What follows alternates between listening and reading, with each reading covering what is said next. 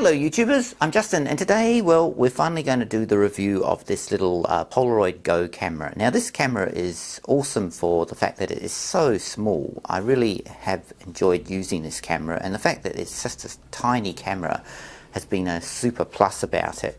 Now it's not necessarily the most advanced Instamatic camera and it definitely doesn't have a lot of features like some of the more advanced Instamatic cameras from other brands but it is a fun camera to use. Now it basically has very basic features. You've got a flash, you've got double exposure, you basically have got um, a very basic readout to tell you how many shots are left. You've got your charging port here for micro USB charging. Unfortunately it's not USB-C. Um, and your viewfinder and of course your firing trigger. Um, and that's pretty much it. And of course also you can put a little strap or lanyard there. Okay, so what I want to do basically next is I'm going to compare the Polaroid Go with the Instax Mini 8 here. Now, these two cameras are very similar in that they are very basic in their features. They don't have Bluetooth or any special features. Um, the Instax does have a few more picture profiles that the uh, Polaroid Go doesn't have, but overall they're basically just point and shoot cameras.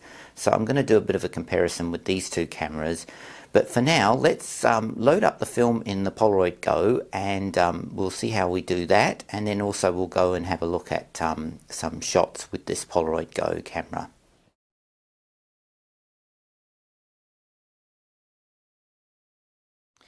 So I've got some Polaroid Go film. Now they come in these packs of uh, two, so you get 16 shots. So I imagine it's eight shots in each one. So let's um, just open this up and we'll have a look and see how this comes in this packaging.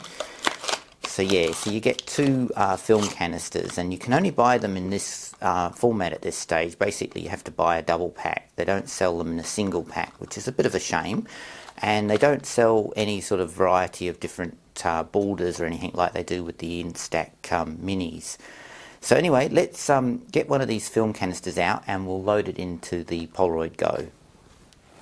So now we've got the uh, film canister out, as you can see, it's got the usual uh, marking point here, and I imagine that's to match up where you put it. So if we just click this little button here, you can see this opens up, and you can see you've got this marking point here, and so that obviously marks where it's meant to go as it connects to the two.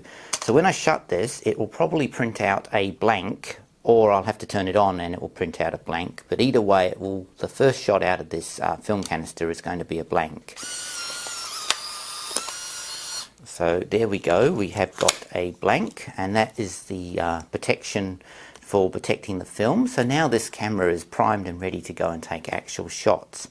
So before we do that, we'll just come back to this little packet here and we'll open this up and see what we've actually got in here. What's something to look at. So we've got these little uh, stickers things here. So I suppose you can put those uh, inside display your favorite um, oh I see so you can put these up on the wall and they're double-sided little sticky pads so you can actually uh, put these images up on things so that's quite cool that they include that which is something you don't get with the uh, Fuji Instamatic film canisters so while we're also loading cameras, I thought I'd also get some film for the Instax one because I want to do a comparison anyway. So I basically found this one here, which is the black border one.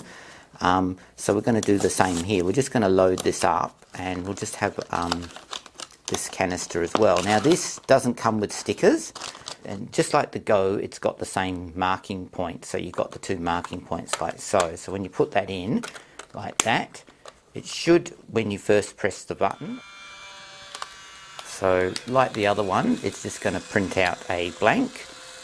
And as you can see, it's got a blank and it comes from the top. So that is also now ready and primed. So next, let's um, take some pictures with this camera and also the Polaroid Go camera, which I've got here, and we'll have a bit of a comparison and see what those shots are like. Okay, so I've taken a shot with both of these cameras now, and as you can see, they're slowly developing. So on this side, of course, is the Instax, and this one is the Polaroid Go. So we'll see how quick um, they develop in real time. So I'll just let this uh, shot run, and we'll just see how quick these actually fully develop.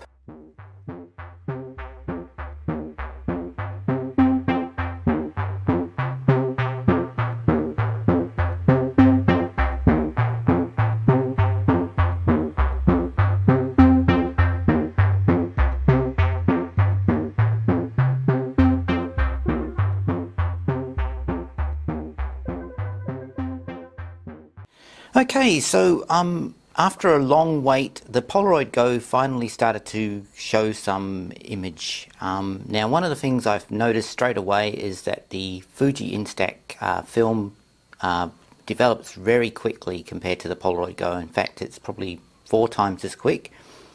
And that is a factor that is pretty annoying.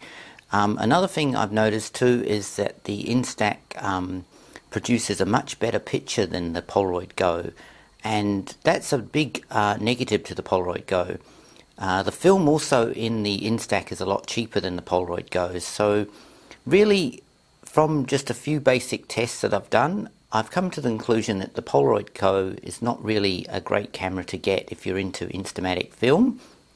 You'd be better off getting a Fuji Instamatic camera uh, especially some of the lower end ones. They're very cheap and they produce pretty decent images. Where the Polaroid Go, it produces okay stuff, but it's not that great. Probably the biggest plus for the Polaroid Go is the fact that it is um, extremely compact and it looks pretty neat and it definitely has that retro vibe about it. But if you're after a pretty decent uh, Instamatic camera and you don't want to break your budget, I would go with one of the Instamatic uh, Instax cameras from Fuji. They're definitely much better than the Polaroid Go. You can pick up the lower end ones a lot cheaper, and also the film is a lot cheaper. So overall, from me, I can't really recommend the Polaroid Go as an Instamatic camera to people.